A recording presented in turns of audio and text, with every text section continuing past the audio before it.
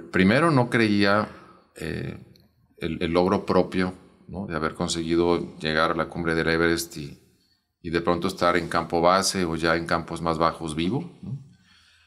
Y segundo, cuando me entero que, Lorena también logra ganar su primer torneo de la LPGA ese mismo día, a pesar de la diferencia del desfase del horario, porque también eh, estaba muy dentro de mí la experiencia de Lorena, yo la acompañé durante muchos años, aún en su etapa profesional y en su etapa, que su etapa, en su etapa amateur y profesional, era gran parte también de, de, un proyecto mío, ¿no? que nació en conjunto y vamos de la mano. ¿no? Yo era un apoyo este, y un soporte entregadísimo para el proyecto de Lorena.